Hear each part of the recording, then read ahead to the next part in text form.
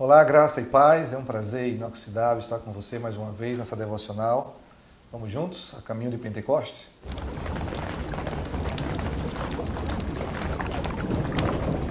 Na devocional de hoje, eu quero fazer menção de uma história que está registrada no segundo livro de Crônicas, no capítulo 20. A história do rei Josafá, de uma batalha que ele tem que enfrentar. Os Onitas e os Moabitas se levantam contra Josafá em grande número Josafá teme e aí ele não fica aprisionado ao seu medo, ele não fica paralisado diante do temor, ele vai a Deus, né? ele vai buscar a Deus em oração, ele vai buscar a Deus com jejum, e ele envolve então toda a nação nessa busca. E aí o versículo 13 do capítulo 20, então, registra da seguinte forma: diz assim: Todo Judá estava em pé diante do Senhor, como também as suas crianças, as suas mulheres e os seus filhos. Então veio o Espírito do Senhor no meio da congregação. E aí a, história continua, mas eu queria chamar a sua atenção. É que esta história começa a mudar, a sorte do povo começa a mudar quando o Espírito do Senhor vem sobre a congregação. A resposta de Deus ao clamor de Josafá, a resposta de Deus ao clamor do povo foi enviar o seu Espírito para que o seu Espírito trouxesse então a palavra profética e mostrasse também para Josafá e para todo o povo qual a estratégia, aquela estratégia que daria certo para que ele vencesse aquela batalha que parecia ser impossível. Então, quando o Espírito Santo vem, ele nos dá esta habilidade e esta capacidade de ouvir a palavra que vem de Deus e de entender o que é que Deus quer que a gente faça diante de uma batalha. Talvez você esteja exatamente assim, enfrentando desafios, enfrentando dificuldades, coisas que parecem ser muito grandes para você mesmo, coisas que aparentam ser maiores do que você pode dar conta.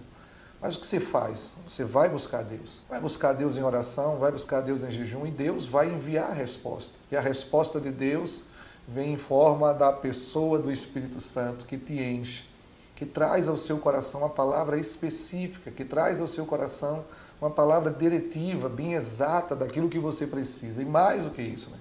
Deus vai te dar a estratégia certa.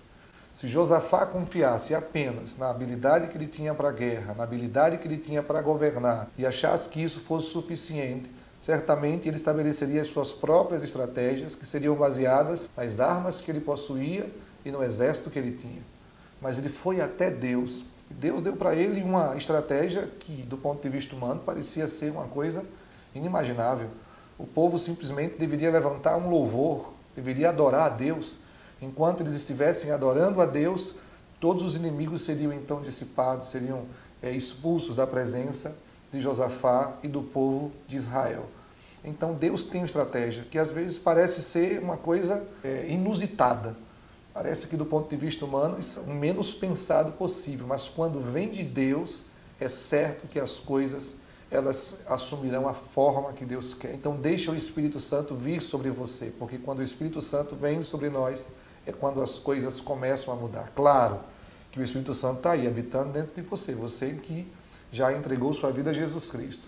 Mas essa expressão, o Espírito Santo vem sobre nós, é quando o Espírito Santo assume o controle, quando o Espírito Santo assume a dianteira, quando o Espírito Santo está à frente das coisas então que nós precisamos fazer.